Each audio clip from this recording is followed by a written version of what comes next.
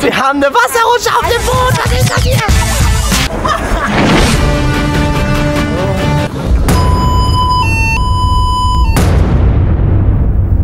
Freunde, Zoe kommt jetzt gleich jeden Moment und ich werde sie überraschen mit der Giga-Überraschung. Hier ein Pfeil und hier eine Weltkarte. Ihr wisst, was jetzt passiert. Ihr wisst. Eine Sekunde noch. Auf jeden Fall, sie hat jetzt gleich einen Versuch, mit diesem Pfeil auf diese Weltkarte zu schießen. Wenn der Pfeil steckt, fliegen wir dahin, wo die Karte steckt. Wenn das in Deutschland steckt, dann müssen wir halt, keine Ahnung, nach Mecklenburg-Vorpommern fahren, aber egal. Also wir können jetzt nach Mexiko fahren, wir können nach Alaska fahren. Oh, Hallo! Was passiert? Na, du musst ein bisschen warten. Als mir den in den Kopf schlagen. Ja, ja, in den Kopf schlagen. Guck mal deine Sachen weg. Was jetzt passieren wird, jetzt dein, die nächsten Tage verändern. Das wird richtig krass, was wir jetzt machen. Und zwar, schau, dass ich hier aufgehangen habe. Was ist das? Eine Ich Weltkarte. sehe es, ich sehe. Kannst du schon ahnen, was wir jetzt machen? Nein. Du wirst jetzt mit diesem Pfeil auf die Weltkarte diesen Pfeil werfen. Und da, wo du hin triffst, da fahren wir auch jetzt hin. Wir gehen auf einen Urlaub. No. Yes. Du musst jetzt... Wirklich? Ja, wir... Also könnte ich auch nach China werfen? Hä, warum willst du nach China? Also, Nein, ich würde gerne irgendwo in ein Winter Wonderland. Aber die lügen, oder fahren wir? Wir fahren wirklich dann hin. Wann? Jetzt, dann morgen hole ich das Ticket und wir fahren hin. It's the best day in my life. Ein Versuch, als muss stecken machen. Warte, ich muss mir erstmal, ich muss erstmal. So, let's go. Ganz egal. Ja, ganz egal. Überall. Ja. Hä? Nicht so weit weg. Perfekt, der war schon mal ein Fail. Okay. Let's go. Los, mach! Ich weiß nicht, wo. Oh, oh mein Gott, Papa, ey, was ist das? Ich weiß es. Was ist das? Arabisches Meer. Wir sind hier genau auf dem Arabischen Meer. Okay, also, wir haben jetzt mal wieder eine sehr trickige Situation. Wir haben es leider wie letztes Mal auch gehabt. Ich hab- bin im Meer gelandet mal wieder. Wir müssen jetzt versuchen, genau an den Punkt mit einem Boot zu kommen. Was? Du hast es jetzt halt wieder ins Meer geschossen, ja. Wir werden jetzt mit einem Boot zum Arabischen Meer da irgendwie hinfahren müssen. Weil letztes Mal habe ich einfach die Insel daneben genommen. Das wäre jetzt zum Beispiel in dem Fall Bengalaru. Ich will jetzt genau da an diesen Ort, genau zu diesem Meer, im Arabischen Meer. Keine Ahnung, wie wir da hinkommen. Ich werde das jetzt alles nachgoogeln. Wir werden, jetzt, wir werden jetzt irgendwie ins Arabische Meer fahren. Aber nicht mit äh, mit. Vielleicht, auch, vielleicht wird es auch ein Schifferboot. Wir werden, wir werden sehen. Noch am selben Abend habe ich mich auf die Suche gemacht. Wie kommen wir dahin? Und die krassesten Zufälle sind zusammengekommen, sodass ich wirklich so mit einer unfassbaren Reise überraschen konnte. Wir kommen zwar einen Tag zu spät an, aber wir können auch auf das Boot kommen. Das heißt, es wird kein gammeliges Boot und ich habe so die ganze Zeit richtig Angst gemacht. Aber naja, vielleicht bekommt sie das ja auch noch. So, let's go! Tag der Abfahrt! Wuhu. Ich habe dir was Schönes geplant, aber du weißt ja noch gar nicht, wo es hingeht. Nein. Wir werden in das Arabische Meer fahren. Aller Anfang ist schwer und ey, das Der ist es Flughafen. Mein altes Leben verloren, denn ich tausche es aus. Und es ging hoch, hoch, hoch, hoch hinaus auf die Eins. Ging das Risiko ein und der Traum wurde mein. Geile Idee, also lass einfach los. Viel zu teuer. 6 Uhr morgens. Das war der einzige Flug, der ging. Also Freunde, wir sind jetzt mitten in der Wüste. Es ist unfassbar heiß. Es sind jetzt schon 33 Grad. Wir kommen aus dem absoluten Winter. Das ist geil. Und auf einmal hat uns so eine Hitzewelle überrollt. So hot. Das muss aber an mir liegen.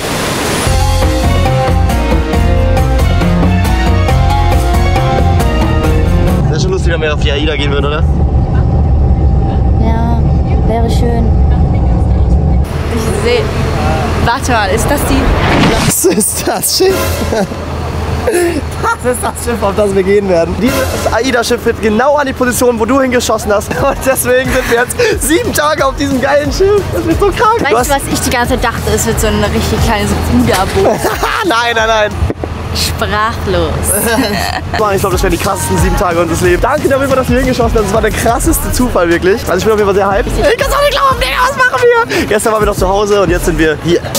Der Blitz, viel größer als gedacht. Denn mit 130 Klicks dachte niemand, dass ich. Sieht so unrealistisch aus, oder? Ja, was ist das? Oh, das ist diese Fake-Insel. Das ist die Fake-Insel. Das war, die haben ja so Fake-Strand gebaut. Leute, ihr müsst euch das angucken. Das sieht von oben aus wie so eine riesige Pf- Pflanze und die haben einfach da Sand ins Meer reingekippt. Das kannst du dir nicht ausdenken. Jetzt ist da einfach so eine Fake-Stadt im Wasser. Alter, was machen die hier? Wir waren zwar ultra müde, aber wir haben dann noch ganz viel erkundet und waren einfach nur komplett überwältigt. Wir haben eine Wasserrutsche auf dem Boot. Was ist das hier? Bin komplett überfordert. Was ist das hier für eine kranke Scheiße? Oh mein Gott, das Glück des Jahrhunderts.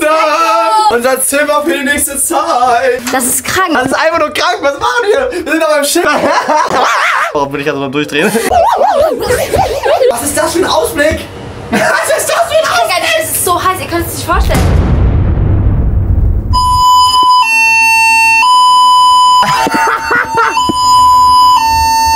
Blenden. Ich habe nur verstanden, Dangerous Points. Dann, wir sollen auf Deck 3 kommen. Und dann dieses Laute. Jetzt eine Sekunde hier, es gibt einen Alarm. Perfekt. Was machen wir jetzt? Schlafen.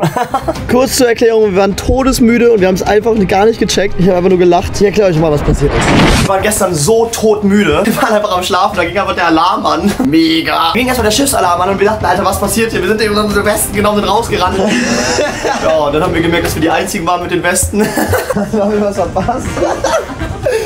Hier geht gar nichts los. Keiner, nein. Keiner, wir gehen jetzt wieder, Digga. Keiner hatte die Westen an. Nur wir, weil es einfach nur ein Testalarm war. Wir sind auf jeden Fall die Schlausten auf dem Boot hier. Wir sind aber noch sehr weit entfernt vom Punkt. Wo so hingeschossen hat, ist es noch ganz woanders. Wir liegen noch in so einem Hafen. Dann guckt ihr das an. So, also es ist irgendwie so ein random Hafen. Wir sind auf jeden Fall noch nicht auf dem arabischen Meer. Und deswegen haben wir noch ein bisschen Zeit zu vertreiben hier in dieser Stadt. Wir sind noch ein bisschen Kanu gefahren. Ah, ist das schön, wenn man angetrieben wird. Was auch immer das hier ist. Weiter so, so, ey, super. Waren in so richtig krassen, riesigen Gebäuden. Kölner Dom hat sich irgendwie verändert. Junge. Und wir haben uns eine Schiffstour geholt mit dem besten Schiffsführer. Der hat einfach uns fahren lassen mit dem Boot, beziehungsweise Zoe. Okay, Freunde, es ist der Moment, wo wir alle untergehen werden. Zoe ist am Steuer.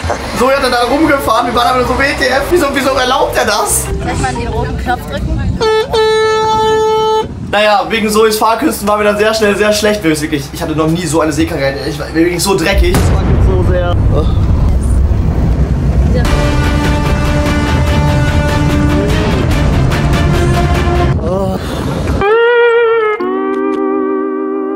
Ich war so schlecht, dass ich einfach vom Boot gesprungen bin ins Meer, um dann irgendwie, irgendwie klarzukommen. Das war ultra hoch.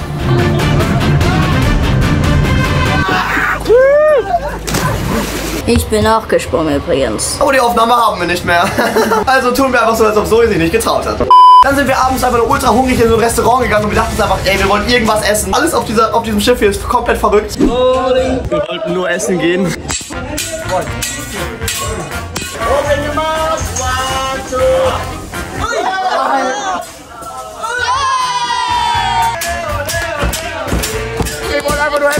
Dieser, dieser Küchenchef hat irgendwelche Sachen rumgeworfen, hat so eine Show gemacht, wir waren so, wir sind einfach nur hungrig, bitte, bitte gib uns das Essen doch einfach.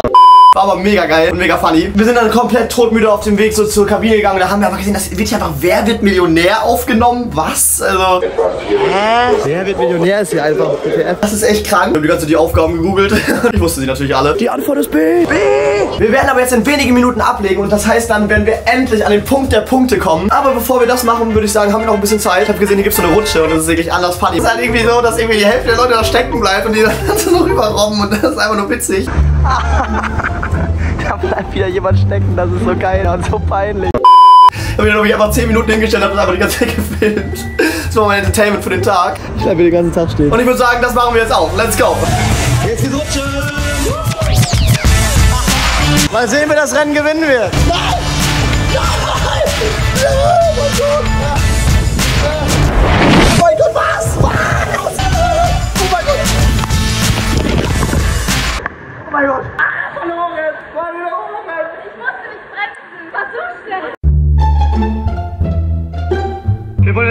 anhalten, wo es durchsichtig ist und uns gegenseitig winken. Ich bleib jetzt so schnell. Okay, anhalten, anhalten.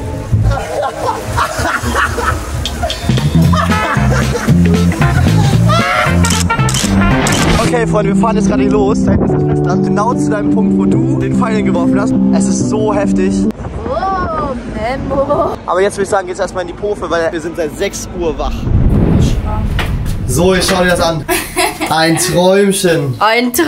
Und du weißt, was auch ein Träumchen ist? Sind wir da? Wir sind genau jetzt gerade angekommen. Genau an dem Punkt, wo du hingeschossen hast. Woher Hier, du da unten. Genau an dem Punkt, genau an dem. Vielleicht sind wir ein bisschen, aber wir sind auf jeden Fall sehr, sehr nah dran. Hier ist auf jeden Fall das Arabische Meer. Arabische Arabische Meer. Das arabische Meer. Glücklicherweise haben wir jetzt hier kein Schifferboot oder so ein kleines Miniboot. Das heißt, wir haben ja noch ein bisschen Zeit, was wir hier verbringen können. Das wird auf jeden Fall sehr geil werden. Bis jetzt haben wir auf jeden Fall eine richtig krasse Zeit hier.